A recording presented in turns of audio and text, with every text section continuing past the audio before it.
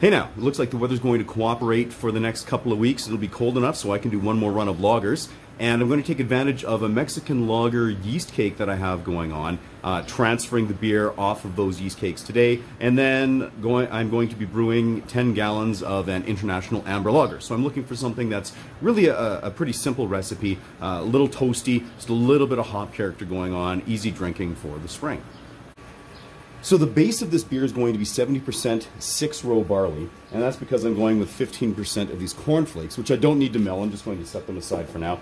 I'm also going with 15% of Caramunich 3 and 10% Simpson's Amber Malt. So that should give it like some biscuitiness.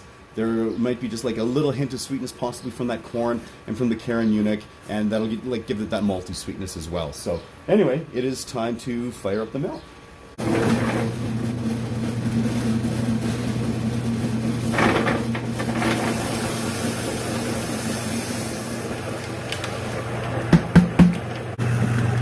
So the Monster Mill 3MM Pro here is going to make short work of milling this grain and we'll be ready to mash in.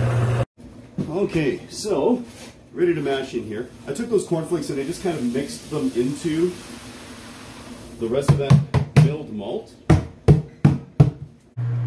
And that just made it really easy to, to mix in. So I had this all all mixed up here and we've got our mash temp of 64.4 Celsius or 148 Fahrenheit. Going to let it sit here for 45 minutes and then I'm going to step up uh, a little bit. Just I'm trying to get this as attenuable as possible. And after 45 minutes, I'm just going to jump this up to 67.7 Celsius or 154 Fahrenheit and give it another 45. So after 45 minutes, I took this up to mash out temperature of 75 Celsius, let it sit there for 15 minutes, and then fly sparged off into the boil kettle here, and I'm just about to grab the first wort hops. So for this, I'm using Pacific Gem hops because I think that kind of oaky, blackberry kind of flavor and aroma that they can offer will be interesting. And I'm doing this as a first wort hop just to offer a little bit of that hop flavor. 22 grams of this uh, at 12% alpha acid isn't a whole ton um, of uh, flavor contribution, but it should be just a little, a little subtle character. So let's get ready to flame on here. Woo! There we go. Oh, we're getting real close to a boil here. It's trying to burst through those hops. And there we go. Beautiful little boil going on here. So I'm going to give it a 60 minute boil and we'll be adding the next hops at 15 minutes remaining. Well, like I said, I'm going to be pitching this wort onto this yeast cake. So I've got actually three carboys of this uh, Escarpment Mexican lager yeast strain. I'm going to be using two of them for this International Amber Lager. So I'm just transferring them off and then I'll be ready to, uh, to add the, the freshly chilled wort onto it. So with 15 minutes remaining in the boil, I'm going to add 14 grams of Tettnanger hops, and that's just going to add just a little possible light spiciness to this beer. And um, now this will this will ramp up my IBUs to a total of 18 for the brew. And with 10 minutes left, I'm just going to add some super moss that I mixed into a little bit of wort just to help get this nice and clear as a finished product. Now I just flamed out and I'm adding here 42 grams and it's a 50-50 split of the Pacific Gem and the Tettnanger.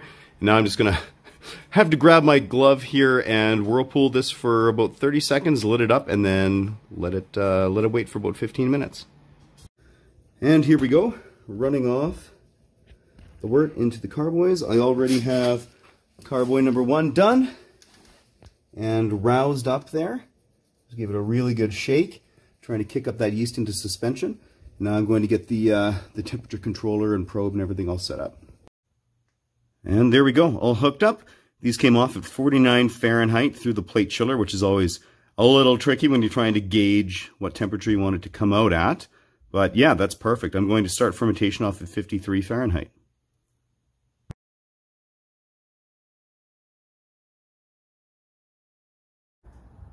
And home from work the next day, we are happily fermenting away here, which is uh, fantastic and exciting. So the forced attenuation test came in at 1013, which is awesome. Uh, so it, as long as we match that, it should have a decent amount of body. And it is uh, just a little bit under the top end of the style, which is 1014 for a finishing gravity. So I guess we'll see what the finished product comes out like. Well, and our finishing gravity on the beer itself has come out at 1013, so that matches the forced attenuation test. That is fantastic. So after hitting terminal gravity at a higher temperature and then chilling it down to about 50 degrees Fahrenheit for a week, I'm now pressure transferring off into a couple of corny kegs. Well, it's the moment I have been waiting for. It is time to try out this Amber Lager. Let's do it.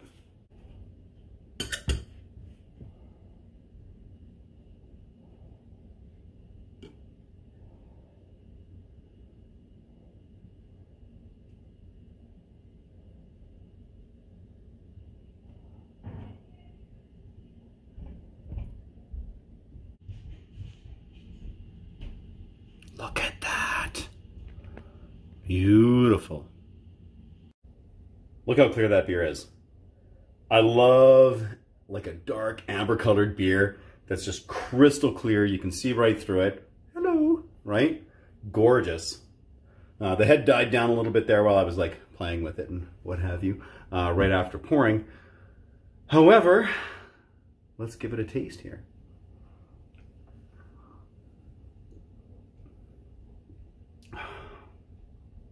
This. This is a delight. Um, we've got the, the, some definite toastiness coming because of those the the amber malt that's in there, that 10% of that amber malt, so a lot of rich toastiness. Um, a, a, little bit of kind of like caramelly flavors coming out of that that uh, caramel that was in there, and but but really light at the same time. And I think the the six row definitely helps with that, and sort of that lower lower finishing gravity. This is just a gorgeous beer. I can't get over the color. Um, a little bit of the uh, Pacific Gem is coming through and maybe just like the barest hint of spiciness from from the Tettnanger, but that uh, there's this like very light, almost oaken kind of blackberry-ish thing, which is what the descriptors are for the hops. So fortunately they came through and I think the first wort hop was a, was a great play there with that. It mainly smells like uh, the toasty malt, but that was uh, sort of to be expected. This is super nice. I, I can see drinking this on cold weather and super hot weather, which it is today. So I'm going to pour another couple of these and uh, take them outside and enjoy them in the sunshine. So great success. Try it if you have a chance. And until next time, keep Road 11.